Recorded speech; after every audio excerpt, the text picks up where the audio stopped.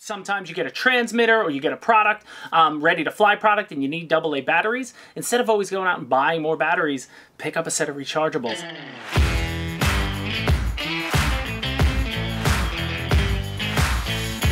Hello everyone, welcome back to Motion RC. I'm James with another quick tip.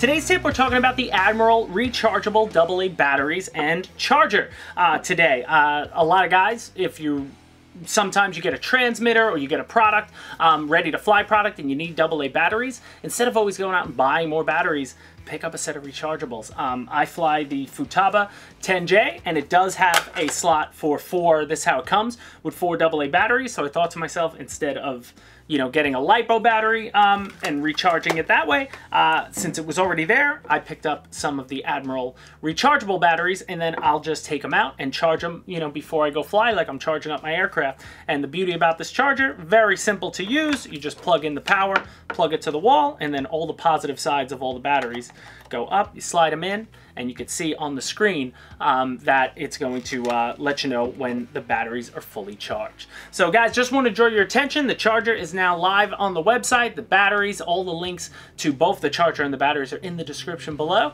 Um, and by all means, go pick up yourself a pair because uh, it works you know, it just works for what it is. So guys, that'll do it for this quick tip today. If you have any ideas for any more future quick tips, leave them in the comment section.